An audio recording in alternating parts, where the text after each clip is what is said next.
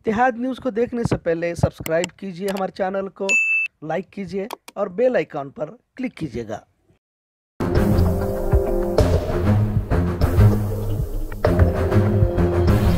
अस्सलाम वालेकुम रहमतुल्लाहि वबरकातुहू। इत्तेहाद न्यूज़ में आप सभी का खैर मकदम है। अब तो समझ में नहीं आता कि किस बात पे कहा जाए, किस बात पे नहीं कहा जाए। हर रोज़ ऐसी खबर आ जाती है जिससे मुल्क का संविधान, लोकतंत्र शर्मिंदा हो जाता है। आज अगर बात की जाए तो दो बातें खास अहम रही। एक गुरुग्राम की, जहाँ पर जुमा की नमाज़ पर कुछ ना कुछ होता है, और गले में भगवा गमछा डालकर यहाँ पर नमाज़ को रोकने के लिए कुछ फिरका परस्त आ जाते हैं। ये ये मामला है। तो दूसरा, वही त्रिपुरा पर, महज एक सहाफी पर, इसलिए यूएपीए लगाया गया क्योंकि इसने सिर्फ़ तीन लफ्ज लिखे थे कि त्रिपुरा जल रहा है। और त्रिपुरा इंतज़ाम यानी कि भाजपा हुकूमत की जानब से यूएपीए लगा दिया गया। बात पहले गुरुग्राम की करते हैं। जुमा की नमाज़ पार्क में अदा की जाती थी और इसके लिए खुद हुकूमत इंतजामिया ने ही इजाज़त दे दी थी। वैसे हर जुमा को गुरुग्राम में नमाज़ को लेकर कुछ ना कुछ होता रहता है। कुल सदतीस जगहों पर नमाज़ की इजाज़त दी गई थी, जिसमें आज छह जगहों पर पाबंदी लगा दी गई। और मजीद यह है कि जिस जगह पर जुमा की नमाज़ अदा की जाती है, उसमें एक जगह जानबूझकर गोवर्धन पूजा भी की गई। जिसकी सदारत भाजपा कायद कपिल मिश्रा कर रहा है। आपको याद होगा कि यह वही कपिल मिश्रा है जिसने दिल्ली फसाद को अंजाम दिया था। वैसे भी भाजपा के आला उहदों पर फाइज तकरीबन इसी तरह के कायद बैठे हैं। अनुराग ठाकुर तो अब इंफॉर्मेशन एंड ब्रॉडकास्टिंग मिनिस्ट्री के अहदे पर फाइज है, जबकि इसी कायद ने शाहीन बाग वालों को गोली मारो के नारे लगाए थे।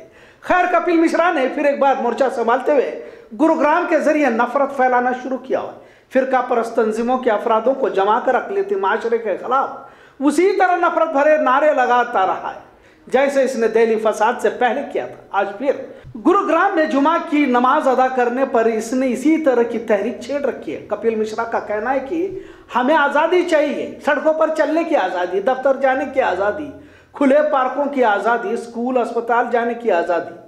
हालाँकि गुरुग्राम में नमाज़ सड़क पर नहीं, बल्कि पार्क में होती है।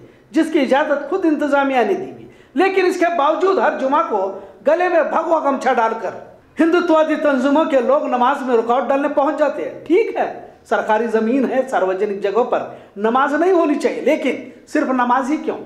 जागरण भी नहीं होना चाहिए। पूजा पाठ भी इज्तमाही तौर पर। सड़कों पर वगैरह नहीं होनी चाहिए, जगरताता भी नहीं होना चाहिए। कांवड़ यात्रा के दौरान इसी गुरुग्राम में एन अट्ठावन हफ्तों तक, यानी कि ये सड़क, हाईवे सड़क है, हफ्तों तक बंद कर दिया जाता है, जिससे हज़ारों करोड़ का नुकसान होता है। वो भी नहीं होना चाहिए। साल 2018 में जब गुरुग्राम में पहली बार नमाज़ को लेकर विवाद हुआ तो तब हरियाणा वक्फ बोर्ड ने वफ की 19 मिल्कियतों की फहरिस्त इंतजामिया को सौंप दी। ये वो मिल्कियत है जिन पर या तो कब्जा किया हुआ है, या इन पर मस्जिद का तामीरी काम को रोका हुआ है। 2018 से 2021 भी खत्म होने जा रहा है। वफ की प्रॉपर्टियाँ ना आज़ाद हुई, ना इसकी कोई खबर किसी ने ली। सरकार वफ की प्रॉपर्टियाँ भी आज़ाद कराने में नाकाम है और नमाज़ में रुकावट डालने वाले हिंदुत्ववादियों को रोकने में भी नाकाम हुकूमत और इंतजामिया को चाहिए कि भूमाफियों के ज़रिए नाजायज कब्जा की हुई वफ की मिल्कियत को भी आज़ाद कराए और वफ की ज़मीन पर मस्जिद तामीर करने वाले फिरका परस्त तंजीमों पर भी सख्ती से कार्रवाई करे। एक और दूसरी खबर ये रही कि महज त्रिपुरा जल रहा है कहने पर यूएपीए थमा दिया। उस सहाफी का नाम है श्याम मीरा सिंह और इसकी हिम्मत की दाद देनी पड़ेगी।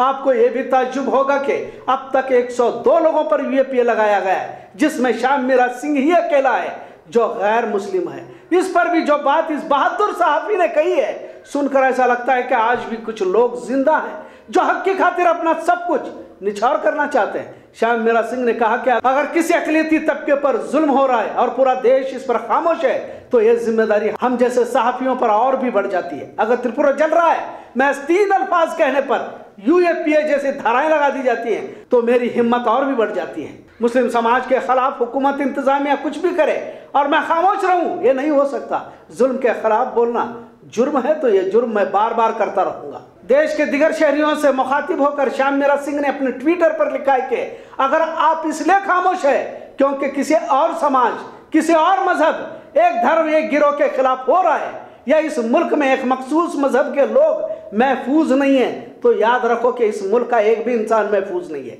एक दिन ऐसा आएगा कि इंसानियत मानवता के दुश्मन तुम्हारे औलादों की गर्दन पर चाकू लगाएँगे। वाकई श्याम मीरा सिंह आपको सलाम करने को जी जाता है। आपके अल्फाज वाकई इस मुल्क के उन तमाम खामोश आवाज़ों को हौसला दे रही है। इन्होंने आगे कहा कि अगर पूरा देश डरा सहमा है, कुछ कहने से पहले हज़ार मरतबा सोचना पड़ रहा है। इसके बावजूद भी आज ये लड़ाई तनहा लड़ने के लिए मैं तैयार हूँ। ये लड़ाई मुझे अपनों के लिए लड़नी है। अगर ये मुल्क के शहरी, इज्तमाही तौर पर लड़ने के लिए तैयार नहीं है तो ये लड़ाई तनहा ही लड़नी होगी।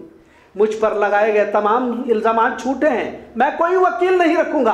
हज़ारों बेगुना लोग जेलों में झूठे इल्ज़ाम के तहत बंद है। आगे जिन सहाफियों ने श्याम मीरा सिंह के हक में खड़े हुए हैं, इन्हें ट्वीट के ज़रिए यह लिखा है कि आप मेरे साथ खड़े रहे। इसके लिए शुक्रिया। लेकिन आप मेरी चिंता न करें। मेरी आपसे अपील है, इस मुद्दे को मुझसे हटाकर मुस्लिम एट्रोसिटीज पर केंद्रित करे।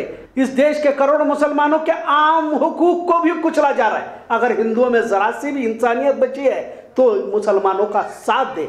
यकीन मानिए, आज का दिन इस बहादुर साफी के नाम। इनका हर ट्वीट आँखें खोल देने वाला है। बहुत सारे ट्वीट किए हैं। इसमें कुछ खास कर अगर आपके सामने रखूँ तो। जनरल डायर पैदा होंगे तो उधम सिंह भी पैदा होंगे। मेरी ये बात याद रखना। एक और ट्वीट तुम सारे फूलों को कुचल सकते हो। लेकिन बसंत को आने से नहीं रोक सकते। इस जुल्म के दौर में ज़ुबान कौन खोलेगा?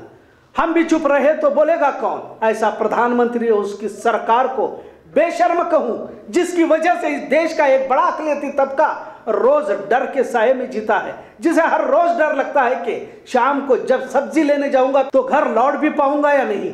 या दाढ़ी और मुसलमान होने के कारण मारा जाऊँगा? मुझसे यह उम्मीद की गई थी कि मैं उस प्रधानमंत्री को शेमलेस कहूँ, जो लद्दाख में शहीद हुए इक्कीस जवानों की शहादत की खबर को दबाए और अपनी गद्दी बचाने के लिए यह कहकर दुश्मन देश को क्लीन चीट दे दे। सीमा में कोई नहीं घुसा, न कोई विवाद हुआ है। देश को बाकी लोगों से पता चले कि हमारे जवानों का कत्ल कर दिया गया है। किसी भी पार्टी तलबा मजदूर, असातिजा, दलितों के संगठन अपने एहतजाज दर्ज करने के लिए सड़क पर आया और पुलिस लाठियों से उनकी कमर तोड़ दी जाए, तब मुझसे यह तो की जाए कि उस पुलिस या जुल्म के सीने पर बैठे प्रधानमंत्री को मैं कहूँ कि शेमलेस हज़ारों किसान दिल्ली की सरहदों पर आठ महीने तक सड़कों पर पड़े रहे। उनमें से सैकड़ों बुज़ुर्ग आंदोलन की जगह पर ही दम तोड़ गए। और प्रधानमंत्री कहे कि मैं सिर्फ़ एक कॉल दूर हूँ, तब एक मुल्क के शहरी के रूप में मुझसे यह उम्मीद की जाती है कि मैं उस प्रधानमंत्री को शेमलेस कहूँ यकीन मानिए, ऐसे साफियों की ज़रूरत है, जो हक के खातिर जालिम हुक्मरानों के खिलाफ आवाज़ को बुलंद करते ये भी बात उतनी सच है कि जिस कौम को, जिस माशरे को मरने का सबक दिया गया था, अब वो ज़िंदा रहना चाहती है। मरना नहीं चाहती। लेकिन कुछ लोग जैसे श्याम मीरा सिंह मरना चाहते हैं, लेकिन जुल्म के सामने झुकना नहीं चाहते। ज़रूरत है ऐसे लोगों से सबक सीखने की, क्योंकि जब कुर्बानियाँ दी जाती हैं तो इनकलाबाद बर्पा हुआ करते हैं। और श्याम मीरा सिंह ने आज जुरत का मुजाहरा कर बेदारी का सबक पढ़ा है। ऐसे सहाफी को सलाम।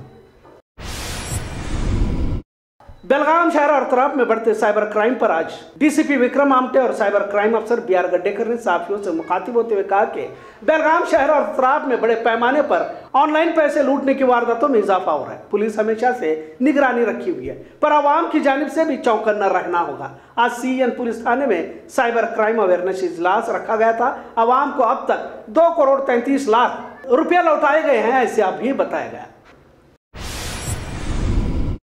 महकमा समाज बहबूदी के सेक्रेटरी अलके अतीक ने आज बेलगाम के कलेक्ट्रेट हॉल में जायजा मीटिंग तलब फरमाई थी, जिसमें उन्होंने कहा कि हुकूमत के हुक्म के मुताबिक आंगनवाड़ी से लेकर स्कूल कॉलेजेस को पूरी तरह से शुरू किया गया। कोविड गाइडलाइन पर सख्ती से अमल किया जाए। महकमा समाजी बहबूदी, अखिलित माशरा पिछड़ा माशरा के तमाम तरक्याती कामों के साथ खाने और रहन सहन, साफ़ पानी मुहैया कराया जाए और तमाम तरह की सहूलतों को मुहैया कराने की हिदायत भी दी गई। बच्चों को अगवा करने के गिरोह फिर से बेलगाम में सरगर्म होने की तला हासिल हुई बेलगाम शहर के करीब बीके कंगराड़ी में दो छोटे लड़कियों को चुराने के लिए ओमनी वैन के साथ गिरोह दाखिल हुआ और सड़क पर खेलते हुए बच्चों को चॉकलेट के बहाने बुलाने लगे। लेकिन बच्चों ने जाने से मना किया तो इन्हें गाड़ी में जबरन डालने की कोशिश की गई। लेकिन पड़ोस के घर से आकर एक खातून ने सवाल किया तो किडनैपर्स वहाँ से वैन के साथ फरार हो गए। लिहाजा शहर के करीबी गाँव में ज़्यादा इस तरह के गिरोह, सरगर्म होने की बात कही जा रही है। बेलगाम शहर के अतराफ में ऐसी वारदातों से खौफ का माहौल देखा जा रहा है। आज महेश फाउंडेशन की जानब से मशहूर समाजी खिदमतगार जनाब अब्दुल खादिर घी वाले को कोरोना के दौरान नुमाया खदमात पर बेहतरीन समाजी खिदमतगार के एजाज से नवाजा गया। महेश फाउंडेशन ने दिए एजाज के लिए इन्हें मुबारकबाद पेश की जा रही है। खबर का सिलसिला यूँ ही चलता रहा। देखते रहे इतिहाद न्यूज़। शुक्रिया। अल्लाह हाफिज़।